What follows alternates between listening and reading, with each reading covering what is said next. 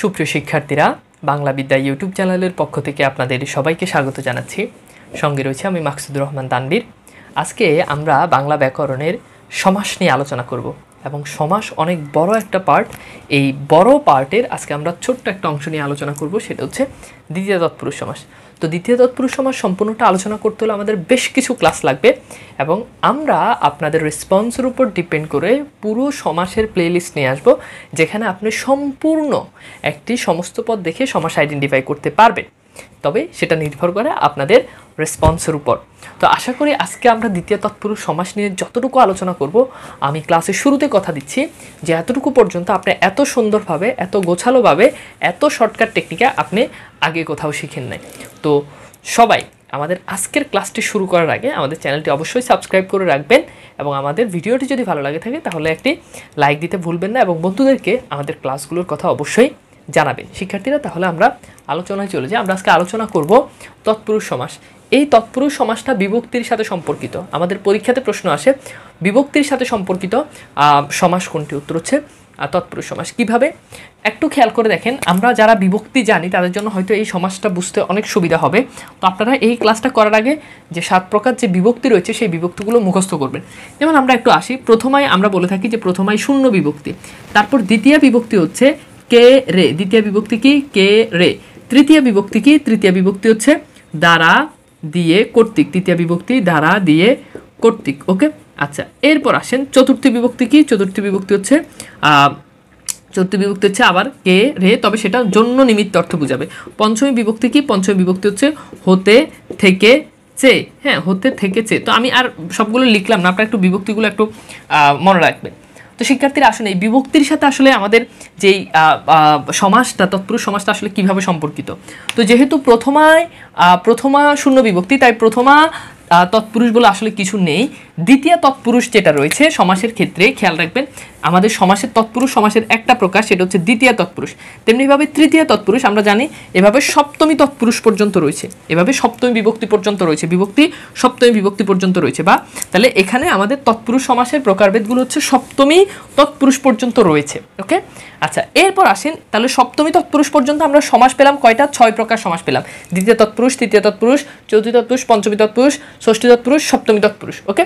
তাহলে আমরা মোট সমাস আমরা এখানে কয়টা পেলাম? এখানে পেলাম হ্যাঁ ছয়টা। ওকে, বাকিগুলো কি কি? বাকি আরেকটা হচ্ছে উপপদ তৎপুরুষ উপপদ তৎপুরুষ হ্যাঁ। আরেকটা হচ্ছে নয় তৎপুরুষ, আরেকটা হচ্ছে অলুক তৎপুরুষ অলুক তৎপুরুষ। এই যে মোট এখানে ছয়, সাত, আট, নয়, এই নয় প্রকার হচ্ছে আমাদের তৎপুরুষ সমাসের প্রকার। তাহলে প্রথম ছয়টি, এই ছয়টি হচ্ছে বিভক্তির সাথে সম্পর্কিত। পরে যে তিনটি রয়েছে, উপপদ, নয় অলুক, এই তিনটি বিভক্তির সাথে সম্পর্কিত নয়। এইবার শিক্ষার্থীরা, আমাদেরকে একটু জানতে হবে যে আমরা যদি একটা একটা সমাস করে আপনাদেরকে একটু বুঝাই যে আসলে এখানে মূল কনসেপ্টটা আসলে কি। তো দেখেন, আমরা প্রথমে একটু আলোচনা করি, আমরা লিখলাম দ্বিতীয় তৎপুরুষ, আমরা লিখলাম দ্বিতীয় তৎপুরুষ। এখন দ্বিতীয় তৎপুরুষ সাধারণত আমরা গাইড বই অথবা আমাদেরকে, আমি অনেক শিক্ষককে পড়াতে দেখেছি, তারা দ্বিতীয় তৎপুরুষ সময় যেভাবে শেখায়, সেটা হচ্ছে এই যে দ্বিতীয় তৎপুরুষ, দ্বিতীয় বিভক্তি যেটা রয়েছে, সেটা হচ্ছে কি? কে রে? এই যে এখানে দেখেন, দ্বিতীয় বিভক্তি, কে রে যদি ব্যাসবাক্য থেকে যদি সমস্ত পদ লোপ পায়, তাহলে সেটাকে আমরা বলি, সেটা হচ্ছে দ্বিতীয় তৎপুরুষ। ফর এক্সাম্পল, আমি যদি বলি যে বইকে পড়া, খেয়াল করে দেখেন, আমি লিখলাম বইকে পড়া, ওকে? তাহলে এই বইকে পড়া থেকে যেটা দাঁড়াচ্ছে, সেটা হচ্ছে বই পড়া। বইকে পড়া থেকে দাঁড়াচ্ছে বই পড়া। এখন শিক্ষার্থীরা খেয়াল করে দেখেন, এই যে এখানে বই পড়ার ভিতরে কোন বিভক্তিটা, এখান থেকে কোন বিভক্তিটা এখানে লোপ পেয়েছে বলুন তো? সেটা হচ্ছে কে বিভক্তি, এই যে দেখেন কে বিভক্তি। এখন যেহেতু এখানে কে বিভক্তি লোপ পেয়েছে, তাহলে কেটা কোন বিভক্তি? দ্বিতীয় বিভক্তি। দেখেন, দ্বিতীয় বিভক্তি লোপ পেয়েছে, তাই এটাকে আমরা বলছি, এটা হচ্ছে আমাদের দ্বিতীয় তৎপুরুষ সমাস। ওকে, এরপর আসেন, আমি লিখলাম যে ছুরি দ্বারা আঘাত, খেয়াল করে লেখেন, দেখেন, আমি লিখলাম যে ছুরি দ্বারা আঘাত, ওকে। তাহলে ছুরি দ্বারা আঘাত, এখানে খেয়াল করে দেখবেন, এখান থেকে দাঁড়াচ্ছে ছুরির আঘাত, ছুরির ঘাত, ওকে, তাহলে এইবার দেখেন, এই যে এখানে ছুরির আঘাত, এখানে দেখেন ছুরিও আছে, আঘাতও আছে। তাহলে নেই কি? নেইটা হচ্ছে দ্বারা নেই- নেই কি? নেইটা হচ্ছে দ্বারা। তাহলে এখন দেখেন তো দ্বারা কোন বিভক্তি? দ্বারা হচ্ছে তৃতীয় বিভক্তি। তাহলে এই ছুরির আঘাত, এটিকে আমরা বলব, এটা হচ্ছে আমাদের তৃতীয় তৎপুরুষ সমাস। কোন সমাস? তৃতীয় তৎপুরুষ সমাস। এখন এখানেই আসলে প্যাচ, এটা তো দেখে আপনার কাছে সহজ মনে হচ্ছে। কেবল বিভক্তি দেখব আর নির্ণয় করে দেব। কিন্তু শিক্ষার্থীরা এখানে আপনাদেরকে বলে রাখি যে আমাদের পরীক্ষাতে কখনোই এইটা দেয় না। বই পড়া, বইকে পড়া কোন সমাস এটা দিবে না। দিবে বই পড়া কোন সমাস? আমাদের পরীক্ষাতে কখনোই দিবে না ছুরি দ্বারা আঘাত। কখনোই দিবে না ছুরি দ্বারা আঘাত কোন সমাস? পরীক্ষাতে দিবে ছুরির আঘাত কোন সমাস? পরীক্ষাতে কি দিবে? পরীক্ষাতে দিবে ছুরির আঘাত কোন সমাস? তার মানে শিক্ষার্থীরা খেয়াল করে দেখেন, এই যে আমাদের পরীক্ষাতে কখনোই ব্যাসবাক্যটা দেয় না। ব্যাসবাক্য কখনোই দেয় না। পরীক্ষাতে সবসময় দেয় সমস্ত পদ। কি দেয়? পরীক্ষাতে সবসময় দেয় সমস্ত পদ। এখন শিক্ষার্থীরা খেয়াল করে দেখেন, এখন এই বই পড়া, আমি যদি আপনাকে যদি বলেন বলেন তো এটা কোন সমাস? এখন আর আপনি পারবেন না। কারণ এখন আর এখানে বিভক্তি দেখা যাচ্ছে না। তাহলে এখন যেহেতু দেখা যাচ্ছে না, আমাদের পরীক্ষার হলেও তো আর বিভক্তি দেখা যাবে না। তাহলে আমাদেরকে এইটা দিয়ে, অর্থাৎ ব্যাসবাক্য দিয়ে আমরা সমাজ শিখব না। আমরা সমাজ শিখব সমস্ত পদ দিয়ে। আমরা সমাজ শিখব কি দিয়ে? আমরা সমাজ শিখব সমস্ত পদ দিয়ে। তাহলে ব্যাসবাক্য দিয়ে আমাদের কাছে মনে হয় সঠিক, কিন্তু ব্যাস বাক্য তো আসলে পরীক্ষায় আসে না। এখন আপনি যদি এটাকে যদি বলেন যে এটা দ্বিতীয় তৎপুরুষ সমাস, আপনি যদি আইডেন্টিফাই করতে পারেন, এবার আপনি এমনিতেই ব্যাস বাক্য পারবেন। শুধু ওই যে দ্বিতীয় বিভক্তি যেটা রয়েছে, সেটাকে আপনি কি করবেন? যুক্ত করে দিবেন, শেষ। তাহলে শিক্ষার্থীরা, আশা করি এই জায়গাতে আপনাদের যে বেসিক যে ধারণা, আমি আশা করি যে এটা আপনাদেরকে আমি পরিষ্কার করতে পেরেছি যে আসলে আমাদের কোন জিনিসটা পড়া উচিত। কোন জিনিসটা পড়া উচিত এই জায়গাটাতে। তো আমি আপনাদেরকে দেখাবো যে কেবল বই পড়া দেখে আপনি কীভাবে বলবেন সেটা দ্বিতীয় তৎপুরুষ। আমি আপনাকে দেখাবো কেবল ছুরির আঘাত দেখে আপনি কীভাবে বলবেন যেটা তৃতীয় তৎপুরুষ। এইভাবে আমরা সমাজগুলো নির্ণয় করব ইনশাল্লাহ। তো সাথেই থাকুন, দেখেন আমি কীভাবে শর্টকাট আপনাদেরকে এই জায়গাটা একদম পরিষ্কার করে দিচ্ছি। শুধু দেখবেন আর মানে দেখবেন আর অবাক হবেন যে আসলে সহজ, জিনিসটা আসলে কত সহজ, কিন্তু আমরা আসলে কঠিন করে ফেলেছি। ওকে, আসেন। তো আমরা দ্বিতীয় তৎপুরুষ সমাস নিয়ে একটু আলোচনা করি। তো দ্বিতীয় তৎপুরুষ সমাসে আমি অনেকগুলো শর্টকাট টেকনিক আপনাদেরকে বলব আপনি একটু শুনবেন। সেটা হচ্ছে, যদি আমরা যদি কোনো সমা কোনো সমস্ত পদে আমরা যদি দেখি যে এই শব্দগুলো যদি আসে, যদি দেখি এই শব্দগুলো, যেমন হতে পারে পণ্য, যেমন হতে পারে প্রাপ্ত, যেমন হতে পারে হ্যাঁ গত, হতে পারে অতীত, হতে পারে, হুম অতীত হতে পারে হ্যাঁ তারপর হচ্ছে হতে পারে যে আশ্রিত হতে পারে, আশ্রিত হ্যাঁ আশ্রিত। তারপর হচ্ছে হতে পারে যে সংক্রান্ত শব্দটা থাকতে পারে। সংক্রান্ত, ওকে? তাহলে এই কয়েকটা শব্দ যদি দেখেন, কোনো সমস্ত পদের শেষে, কোনো সমস্ত পদের শেষে যদি এই কয়েকটা শব্দ দেখেন, এই কয়েকটা শব্দ কি আবার বলছি। নাম্বার ওয়ান একটা হচ্ছে পণ্য, আরেকটা হচ্ছে প্রাপ্ত, আরেকটা হচ্ছে গত, অতীত, আশ্রিত, সংক্রান্ত। এই ছয়টা শব্দ যদি কোনো সমস্ত পদের শেষে দেখেন, তাহলে সেটা চোখ বন্ধ করে সেটা আমাদের দ্বিতীয় তৎপুরুষ সমাস, ওকে? আসলে আমরা একটু দেখি। যেমন আমি লিখলাম, খেয়াল করেন, আমি লিখলাম ভাবাপন্ন ভাবাপন্ন।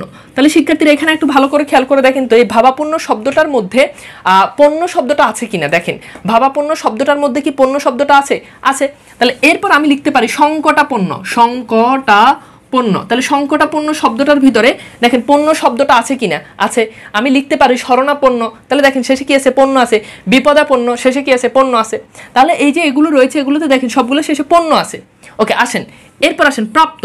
যেমন আসেন, হতে পারে অবসর প্রাপ্ত অবসর প্রাপ্ত, ওকে? তাহলে দেখেন, এই শব্দটার শেষে কি রয়েছে? শব্দটার শেষে রয়েছে প্রাপ্ত, ওকে? হতে পারে সাহায্য প্রাপ্ত সাহায্য প্রাপ্ত হ্যাঁ তারপর হতে পারে যে বৃত্তিপ্রাপ্ত হতে পারে হ্যাঁ স্বর্গপ্রাপ্ত হতে পারে, কষ্টপ্রাপ্ত হতে পারে, তাহলে এরকম প্রাপ্ত যদি থাকে সেগুলোকে আমরা বলব সেগুলো হচ্ছে দ্বিতীয় তৎপুরুষ সমাস, ওকে?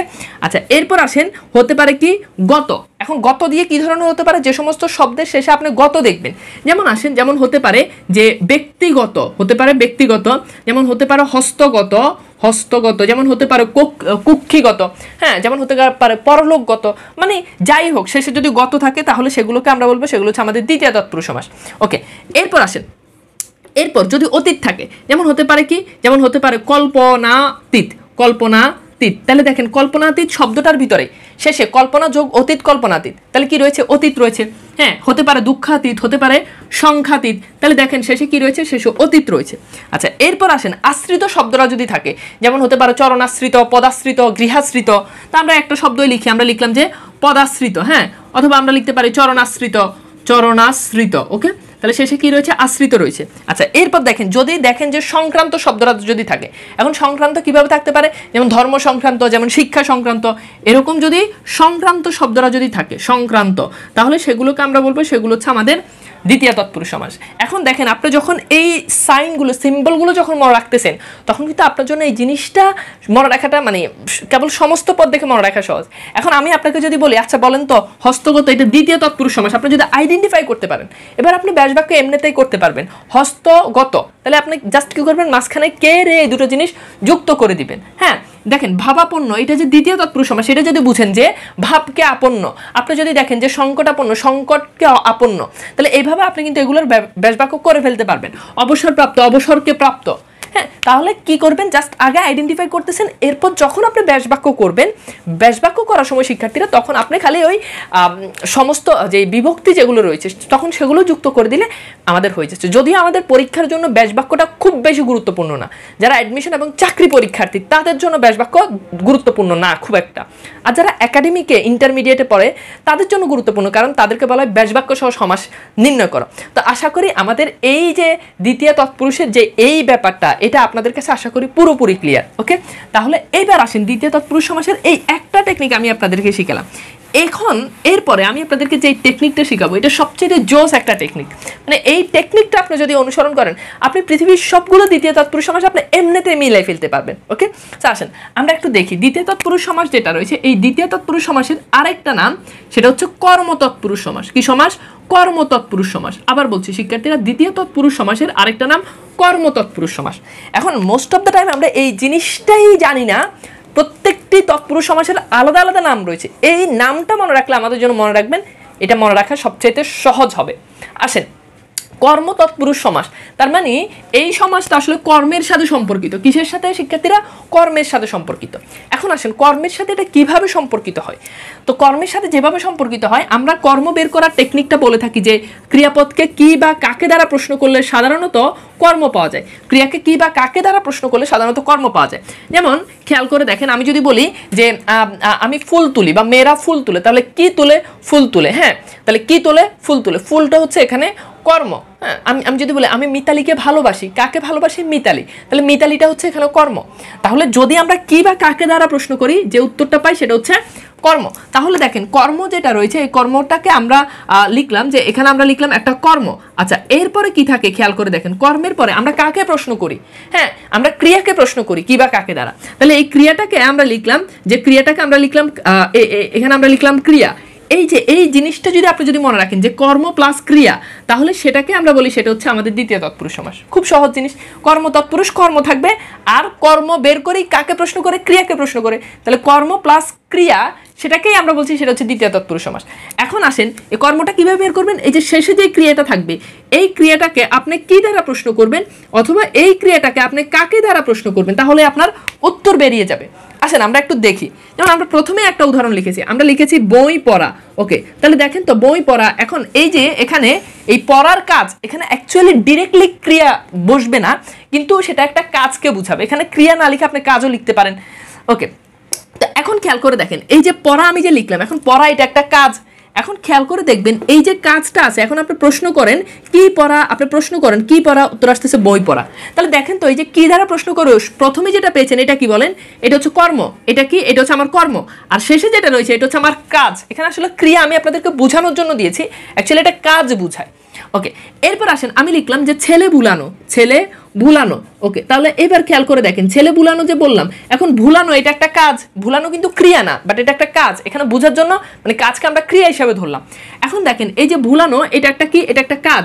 এখন আপনি এই এই কাজটাকে বা এই ক্রিয়াটাকে আপনি প্রশ্ন করেন, কি ভুলানো? বা আপনি প্রশ্ন করেন, কাকে ভুলানো? তাহলে কাকে ভুলানো? ছেলেকে ভুলানো। তাহলে ছেলেটা হচ্ছে এখানে কি? কর্ম। আর শেষে যে ভুলানো, এটা একটা কাজ রয়েছে। ভুলানোটা শেষে কি রয়েছে? শেষে ভুলানোটা একটা কাজ রয়েছে। ওকে, দেখেন, আমি লিখলাম মাতৃহত্যা মাতৃ হত্যা এখন খেয়াল করে দেখেন, এই হত্যা করা, হত্যার হত্যার কাজ কাজ বুঝাচ্ছে। এখন আপনি প্রশ্ন করেন যে কাকে হত্যা, খেয়াল করেন, আপনি প্রশ্ন করেন, কাকে হত্যা, মাতৃহত্যা? দেখেন, শুরুতে কর্ম, পরে একটা কাজ, শুরুতে কর্ম, পরে একটা কাজ। আচ্ছা আমি লিখলাম যে পুত্র লাভ পুত্র লাভ, ওকে। এইবার আপনি প্রশ্ন করেন, কি লাভ অথবা কাকে লাভ? উত্তর হচ্ছে পুত্রকে লাভ। আচ্ছা আমি লিখলাম রথ চলন, রথ চালন বা রথ চলন। এখন আপনি প্রশ্ন করেন, কি চালন? দেখেন, আপনি প্রশ্ন করেন, কি চালন? উত্তর হচ্ছে রথ চালন। আচ্ছা আমি লিখলাম যে কলা বেচা। এবার আপনি এই বেচা ক্রিয়াটাকে প্রশ্ন করেন, কি বেচা? কলা বেচা। ওকে, আমি লিখলাম আম কুরানো খেয়াল করে দেখেন, আম কুরানো ওকে, তাহলে কি কুরানো আম কুরানো কি কুরানো আম কুরানো দেখেন, আমি লিখলাম যে লিখলাম যে, দেশ বঙ্গ দেশ বঙ্গ। তাহলে এবার আপনি প্রশ্ন করেন, কি বঙ্গ? দেশ বঙ্গ। তাহলে শিক্ষার্থীরা শুধু এই জিনিসটা খেয়াল রাখতে হবে যে পরপদে যে কাজটা বুঝাচ্ছে বা ক্রিয়াটা থাকতেছে, ওই কাজটাকে আমি কি বা কাকে দ্বারা প্রশ্ন করলে? পূর্বপদে যদি একটা কর্ম পাওয়া যায়, তাহলে সেটা হচ্ছে দ্বিতীয় তৎপুরুষ সমাস। এজন্য এই দ্বিতীয় তৎপুরুষ সমাসটার আরেকটা নাম হচ্ছে কর্ম তৎপুরুষ সমাস। দ্বিতীয় তৎপুরুষ সমাসের আরেকটা নাম কি? দ্বিতীয় তৎপুরুষ সমাসের আরেকটা নাম হচ্ছে কর্ম তৎপুরুষ সমাস। এবার ব্যাসবাক্য করেন। ব্যাসবাক্য করবেন খুব সিম্পল বিষয়। খালি যে কেটাকে যুক্ত করবেন, কে রে? ছেলেকে ভুলানো, রথকে চালন, বইকে পড়া, মাতৃকে হত্যা, আমকে কুড়ানো। শেষ আমাদের ব্যাসবাক্য। সর্বশেষ আরেকটা টেকনিক এই টেকনিকটা সবচেয়ে গুরুত্বপূর্ণ এবং এখান থেকে প্রশ্ন আসে এবং এটার ব্যাসবাক্যটাও আমাদের জন্য ইম্পর্টেন্ট সেটা হচ্ছে, যদি আমরা কখনো দেখি যে কোনো সমস্ত পদের শুরুতে যদি চির শব্দটি যদি থাকে, তাহলে সেটা হচ্ছে আমাদের দ্বিতীয় তৎপুরুষ সমাস। কোনো সমস্ত পদের শুরুতে যদি চির শব্দটা থাকে, তাহলে সেটা হচ্ছে দ্বিতীয় তৎপুরুষ সমাস।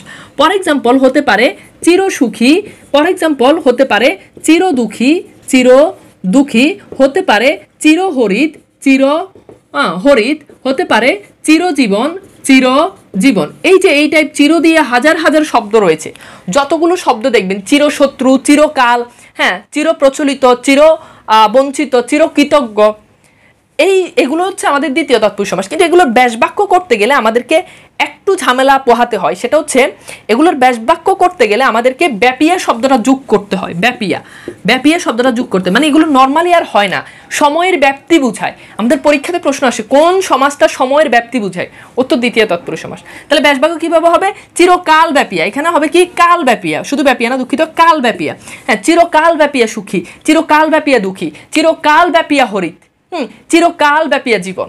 তাহলে কাল ব্যাপিয়া এই শব্দটা আমাদেরকে চির থাকলে দ্বিতীয় তৎপুরুষ এবং সেটার ব্যাসবাক্য এভাবে করতে হয়। আশা করি আমাদের দ্বিতীয় তৎপুরুষ সমাসের পুরোটা ক্লাস আপনার কাছে পুরোপুরি ক্লিয়ার।